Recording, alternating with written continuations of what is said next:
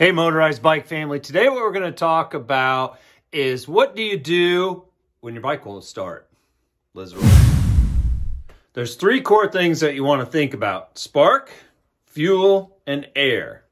Those are the things that make an engine do what it does run, right? It needs those in combination to make it start and run efficiently. So what we'll do is, is we'll start with the things that I always have to deal with when I'm starting on the road here. I'm always working on them. I'm always messing with them. I'm always pulling them apart, putting new things on and wanting it to start. And so I've run into things where I'm like, man, it won't start. Come on, right? And then it's always one of these things. It's your spark, your fuel, or air. It's always one of those things. First up is spark. Look at the boot here. That's a good thing to look at. Sometimes the connection here is kind of loose. This one in particular uses like a spring-loaded uh, clip that I haven't really had any of these fail. The red boot that has just a ring that clamps around it, sometimes that can get, um, you know, opened up too much and you may have to take some pliers and clamp it down and get it tight again. So that may be something to look at. This one is pretty good because it, if you hear that, grip, grip, uh, it's right on the threaded screw and it has a clip down in there. Sorry, I can't see it. Um, but this one's pretty foolproof. The next thing to check is pull your spark plug out and look at the end of it to see if the end is clean, the gap there. You can see that the gap on this one is, of course, a brand new one. So it's, you know, nice and clean. But Yours needs to be very clean also when you pull it out. Now, if it's a light tan color, you know, medium tan color, then that's a good indicator of your fuel mix ratio with your oil that you're on point with it and your spark plug will always perform well. Uh, so check it out. You may, you know, if break-in period and you're using a lot of oil, well, it may be built up on here and uh, not sparking. So the spark plug is your first place to check. Once you've checked that, move down the line. A lot of times these connectors can come loose. They can be not pushed in all the way. Uh, sometimes these barrels can, if you look inside of here, they can kind of open up sometimes. So check those and make sure that those connections haven't slipped loose. And then if you have the stage one or stage two CDI, then make sure that these connections are tight also. And once you've tried those options, then you have to go deeper, of course. So you always start with the surface stuff, you know, spark plug, CDI, things like that. Then you may have to, uh, you know, go and check the parts in here because sometimes these can get burnt out. So this is the last place that you want to check because honestly, nine times out of 10, it's going to be one of these connectors that has failed you. So that's really your electrical system. Spark plug down to magneto. Check all those connections. Magneto's the last place that you really want to look at because it's probably not that. Usually if you've used it a lot, then maybe. Um, but it's almost always those connectors. So let's move on to fuel. So the first place that you want to check is with your fuel cap. take it off and look and see if you got gas in there. Remember that movie Sling Blade? He's like, does it got any gas in it? Sometimes, sometimes we've been caught with uh, not enough gas in our bike because these actually run so long, you don't have to fill them up that often. You kind of can forget actually. So it's got any gas in it. so then come back and check your gas cap once you know you got fuel in it. And then you're going to move on down to your petcock. Make sure that it's in the on position and that uh, fuel is in the line. That's why I like to use clear tubing so I can see if fuel is in the line and coming out. Um, if it's not and it's on, that means you got something plugged up in here and you may have to go further. Um, but first, check for fuel, check your cap, check and make sure that fuel is flowing out and into your carburetor. So if you have fuel, you know your choke procedure, and all of that's good. Uh, sometimes you may need to take this cover off and see if fuel is getting delivered in there. If it's wet and everything, if it's dry, then um, there's something wrong. Maybe there's a fleck inside of something inside the needle, you know, in the inlet where uh, fuel comes in at. Uh, further investigation is to check if the bowl has fuel in it. Uh, you can usually, you know, uh, drain some of it out with the drain valve. Uh, in this case, when I just can't figure out what is wrong with the carburetor, that's where um, I'll have a second one that I've set up. If you go look at the videos of setting up carburetors, I know this is a NT carburetor and this is HP, but um, what I'll do is I'll have one on the shelf extra that I'll have already set up and ready to put on a bike when necessary. So that's the beauty of this hobby. All the parts are really cheap. And so you can have backups for almost everything. I mean, we're talking just dollars for most of this stuff. So uh, I, and we all buy a lot of parts. I know I see, I see what everybody talks about buying. So uh, always have extras around and then you can swap it out, go for your ride, and then come back in the shop and actually see what's what's wrong internally, probably clean it out, and then put it back on later.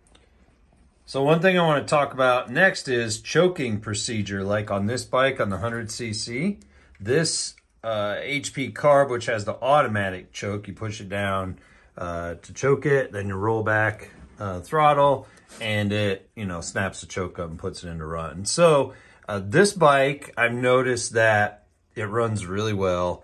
I start it with the choke on, and then if I've ridden it a while and I stop and I turn it off, I have to re-choke it to start it again. Maybe it it's efficient enough, all the fuel goes out of it, and it kind of needs to be re-choked to have enough fuel to start.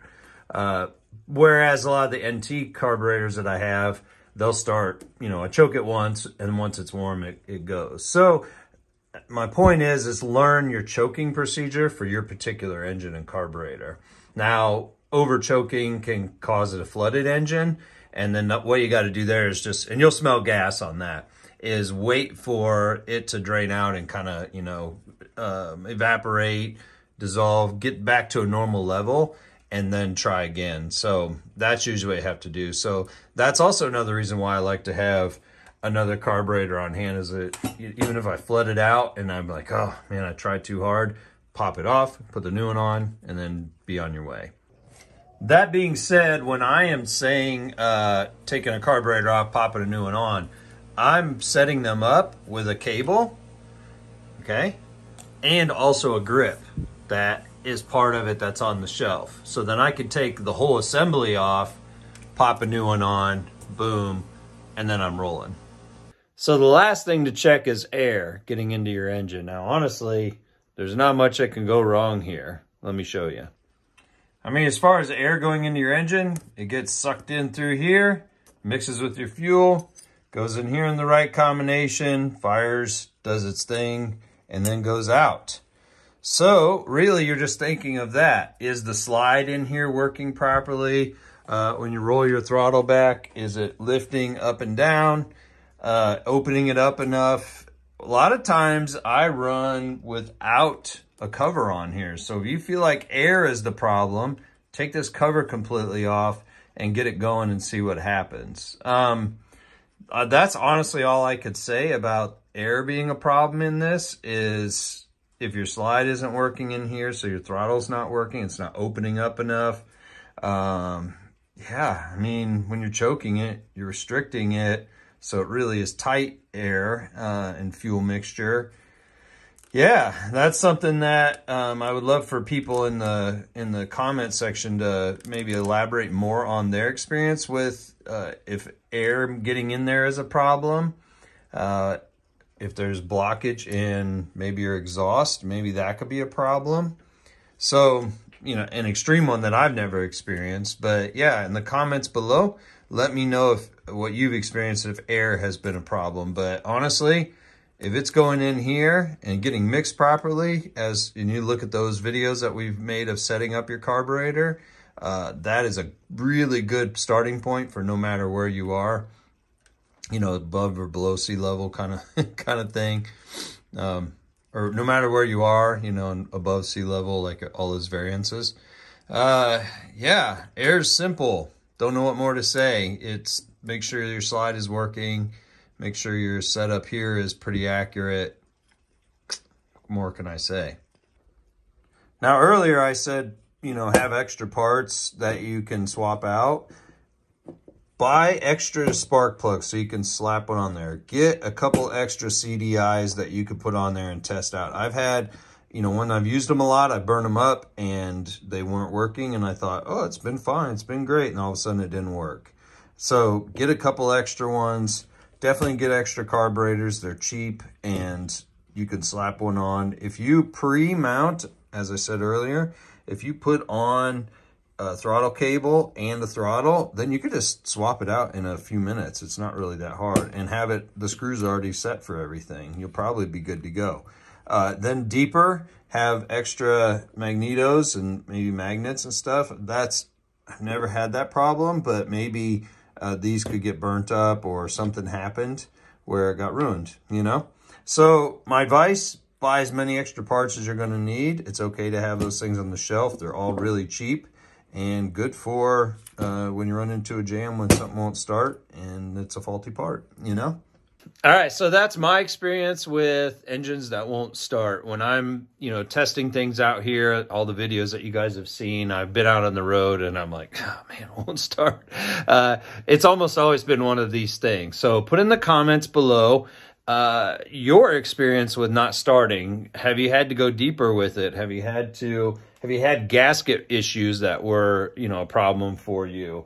things like that. There's things that I've kind of ran through my head, but I haven't had experience myself with. Uh, yeah, let me know your experience, what you've run into in the comments below. Please subscribe to the channel, like this video, you know, hit that bell.